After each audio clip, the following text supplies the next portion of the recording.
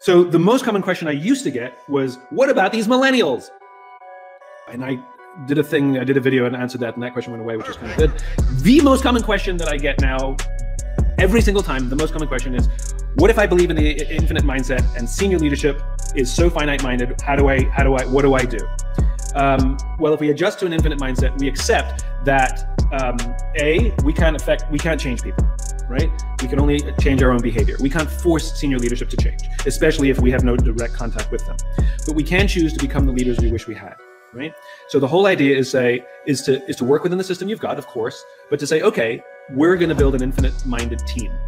And so, amongst the people you work with, and it doesn't matter if you're in a leadership position or not, remember, leadership has nothing to do with rank. Leadership is the responsibility to take care of those around us. So, you can take care of your boss too. Hey, boss, you okay during this COVID? How are you? Um, um, and start embracing those uh, those practices. You know, if, if, the organization doesn't have a, a, good just cause, tell your team what your just cause is, and say why you love this job and how this job is helping you advance your just cause. Uh, start building trusting teams. Start making the people you work with feel like someone has their back, that someone cares about them as human beings, that you create a space where they can be open and honest without judgment.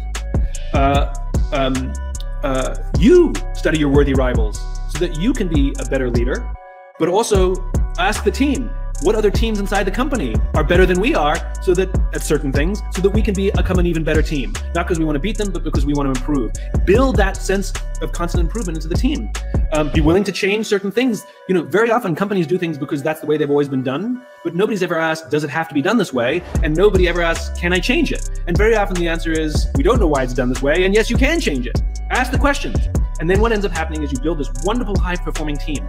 If you have an open-minded group of leaders, even if they're finite-minded, they're going to look at what you're doing in your high-performing team with higher loyalty, better relationships, and they're going to say, "What are you guys doing down there?" And they may want to learn from you.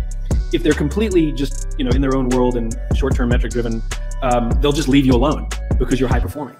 Um, and eventually, some of the people will leave that group and go join other teams. They'll either move on or get promoted out, and they'll bring everything they've learned and they'll take it to those teams and they'll build high performing, infinite minded teams. And eventually, the tail wags the dog.